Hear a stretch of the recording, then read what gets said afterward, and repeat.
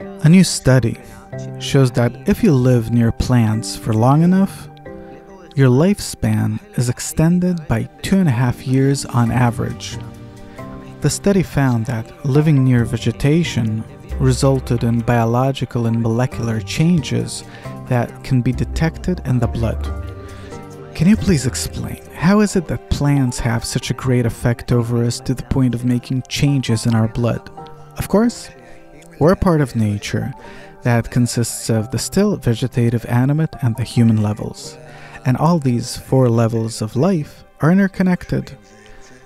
Today, unfortunately, most of us live in concrete cities.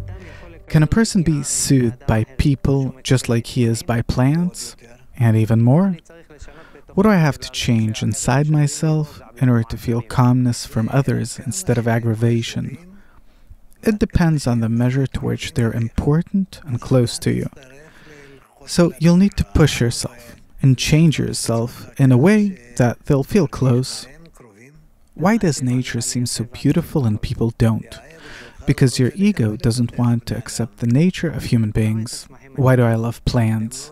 Because they're not harming you in any way. That's exactly the thing. People around me drive me crazy. That's how you see them. So, so you need to all the time think, how will I look in their eyes? Why? In order to be a good example for them. And then maybe, as a result, they too will change by the example that you show them.